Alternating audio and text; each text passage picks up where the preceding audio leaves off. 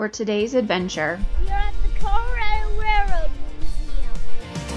Hi, I'm Jeremy. And I'm Kelly. Hey, I'm Joshua. My name's Jackson. And this is Jonathan. this week's event at the Railroad Museum is all about model trains and railroads, and Joshua recently has really gotten into model trains and railroads. Just past the ticket booth is a fun telegraph exhibit where you can read all about the first telegraph and even hear what the telegraph being sent sounded like. So that's what they would do, is they would tap it in a certain order. So downstairs they have a small room for their changing exhibits, and currently the exhibit is photographs by William Henry Jackson that were really cool. Downstairs also houses the Denver HO Model Railroad Club's display.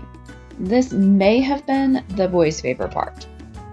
So, as far back as I can remember, we always had model trains at Christmas time. Well, my dad had them when he was a kid, and so I had them when I was a kid, and now we are passing it down to our kids as well.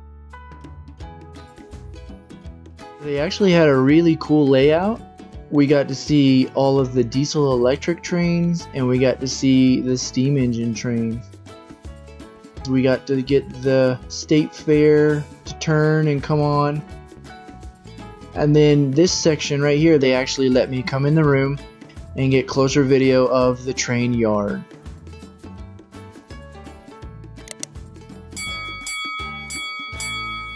After spending a significant amount of time watching the model trains, we headed back upstairs to check out the model trains event.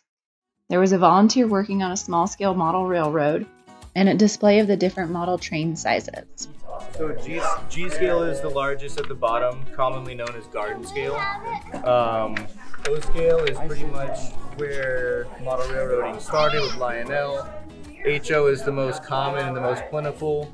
N scale is the second most common, and then Z scale is the smallest, all the way up there. So we have the HO, Joshua. That's all the trains we have at home, are the HO scale, which is this one. Look, they got smaller and bigger.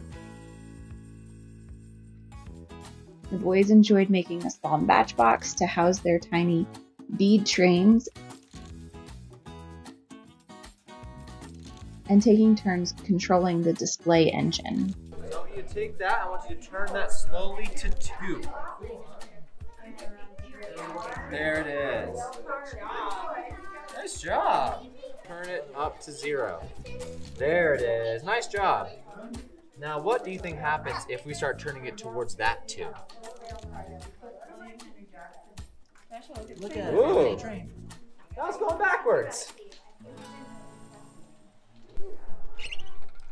Here we go, guys. Going to ride the train now.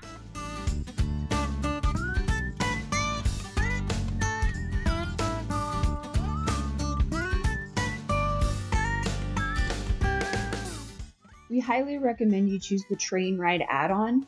The conductor is very informative and shared lots of information about the different trains on the rail yard. This option is usually only available on Saturdays.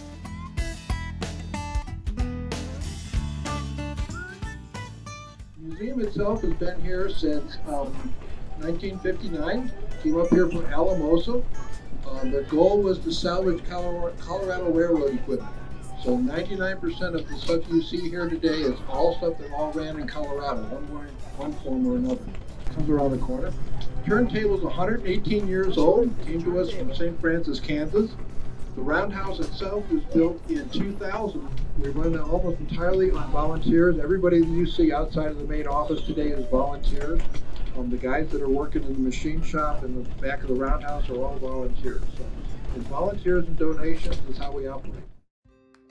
On the 15 acres of rail yard, they have over 200 train cars and engines. Many of these you are able to climb up into and explore.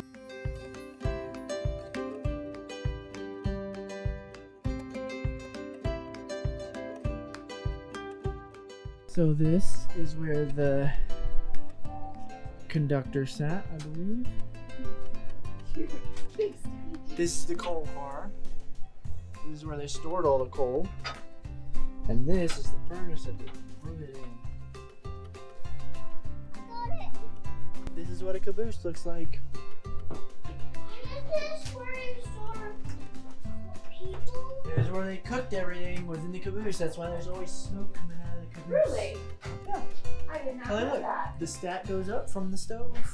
I did not know that. Cook. Let's go back down. And you can actually stand here, which is why this is go higher up. You down, can stand here. down, down. This is where they prepped all the. I want to show them how uh, you're standing in here.